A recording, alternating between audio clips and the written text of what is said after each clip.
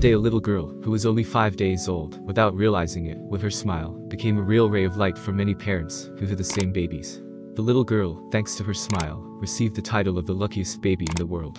Freya was born on the Thanksgiving holiday in 2014. She weighed only 1.7 pounds, compared to the average newborn weight of 2.5 to 5 pounds.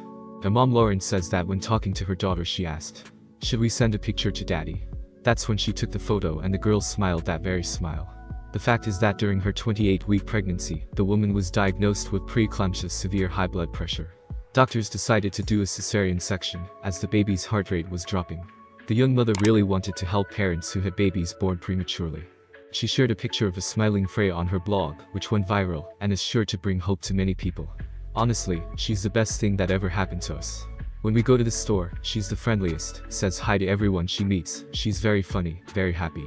And when we came to the hospital to give birth to our second daughter, the photo of Freya for five days was hanging like that in the break room, Lauren says. The little girl is now six years old. Unfortunately, we weren't able to track down any current photos of the girl. But most importantly, with one of her old photos, she was able to do a lot.